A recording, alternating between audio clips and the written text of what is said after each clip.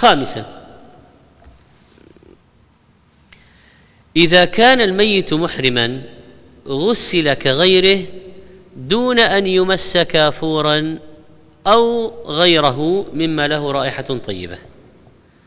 فما هي الأشياء التي يفارق بها المحرم الميت بقية الموتى في الغسل؟ لا نخمر رأسه. ولا نغطيه ولا نضع طيبا لأنه محرم. لأن النبي صلى الله عليه وسلم قال في قصة الرجل الذي وقصه بعيره يعني ألقاه من فوقه فصرع ومات وهو محرم بلباس الحرام. قال اغسلوه بماء وسدر. هذا للتنظيف. وكفنوه في ثوبين. ولا تمسوه طيبا لأنه محرم ولا تخمروا رأسه فإن الله يبعثه يوم القيامة ملبيا.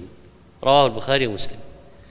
وفي هذا الحديث دلالة بينة لمذهب الشافعي وأحمد وإسحاق وموافقيهم في أن المحرم إذا مات لا يجوز أن يلبس المخيطة ولا يخمر رأسه ولا يمس بطيب. وقال مالك والأوزاعي وأبو حنيفة وغيرهم يفعل به ما يفعل بالحي وهذا الحديث رد على قولهم. راد لقولهم. وقول صلى الله عليه وسلم اغسلوه بماء وسدر دليل على استحباب السدر في غسل الميت وأن المحرم في ذلك كغيره وهذا مذهبنا وبه قال طاووس وعطاء ومجاهد وابن المنذر وآخرون ومنعه مالك وأبو حنيفة وآخرون. اذا هذا الفرق بين المحرم وغيره في موضوع الغسل. سادسا ما حكم الجنب والحائض إذا ماتا قال ابن المنذر رحمه الله وهذا قول عوام أهل العلم وبه نقول أن الجنب والحائض كغيرهما في الغسل. أن الجنب والحائض كغيرهما في الغسل. قال وذلك أن لا نعلم فيما سن النبي صلى الله عليه وسلم من غسل الموتى تفريقا بين من مات منهم جنبا أو غير جنب أو حائضة إذن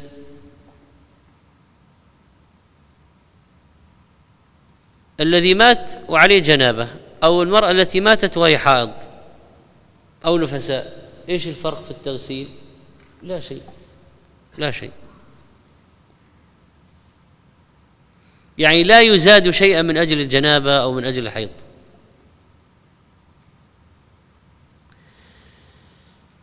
أما كون المغسل جنبا أو حائضا فهذه قضية أخرى وعلنا نأتي عليها إن شاء الله. سابعا. ويندب للغاسل أن يقص شارب الميت ويقلم أظافره إذا كانت طويلة وكذلك شعر الإبط لكن هذا ليس متفقا عليه بين الفقهاء بل هو من مفردات مذهب الحنابلة. يعني الحنابلة في مذهبهم ذهبوا إلى هذا كما في الإنصاف. أما الجمهور الحنفية والمالكية والشافعية فقد قالوا إن الميت لا يؤخذ منه شيء لا شعر ولا أظفار وقالوا أجزاء الميت تبقى على ما هي عليه ولا يؤخذ منها شيء ولا تقص وأن النبي عليه الصلاة والسلام لم يصح عنه ولا عن أصحابه شيء في هذا. وقال ابن المنذر الوقوف عن أخذ ذلك أحب إلي يعني الأحسن عدم لأن المأمور بأخذ ذلك من نفسه هو الحي هو المأمور بأخذ الشعر والأظفار. فإذا مات انقطع الأمر ويصير جميع بدنه إلى البلاء. يعني كله سيبلى الأظافر والشعر والجلد والعظم كله سيتفتت يبلى يبلى. إلا عجب الذنب الذي الذي استثناه النبي صلى الله عليه وسلم. وأما الختان فلا يستعمل مع الميت بل هو حرام لأن الختان أخذ الجلدة والجلدة جزء حي من الميت فأخذها تمثيل بالميت ولا حاجة إليه. ثم في كشف عوره بلا ضرورة. يعني لو قال قائل عندنا واحد عامل أسلم وبعد ما نطق بالشهادتين مات مثلا. طيب هذا غير مختون إيش نفعل؟ يقول ولا شيء. خلاص. لا يختن. ثامنا ويضفر شعر المرأة ثلاثة قرون ويسدل من ورائها. فتضفر الغاسلة شعر المرأة ثلاثة قرون وتلقيها خلف ظهرها. لما جاء في حديث حفصة بنت سيرين قالت حدثتنا أم عطية. شوف الرجوع الرجوع إلى أم عطية. يعني آه، أعمال فقهية الأمة كلها تدين إلى صحابي أو صحابية أو مجموعة صحابة.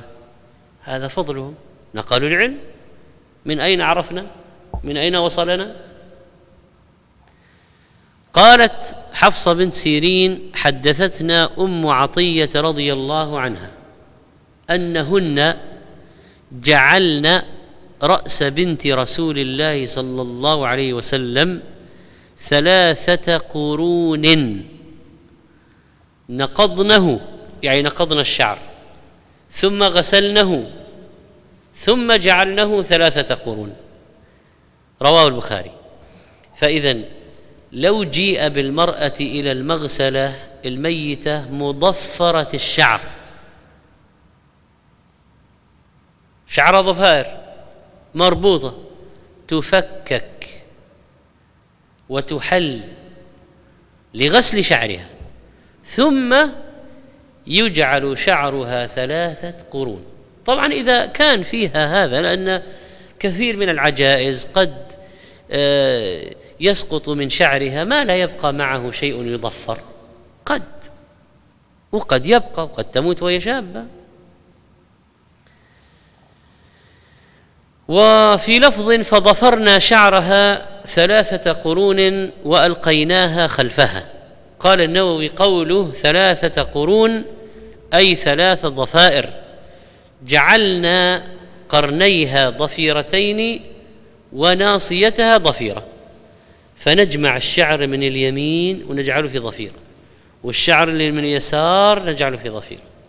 والشعر الذي من الوسط ونجعله في ضفيرة ونلقيه خلف رأسها وظهرها. وفيه استحباب مشط رأس الميت وضفره وبه قال الشافعي وأحمد وإسحاق ودليله هذا الحديث والظاهر اطلاع النبي صلى الله عليه وسلم على هذا وأنه علمهن أو استأذنه فأقرهن.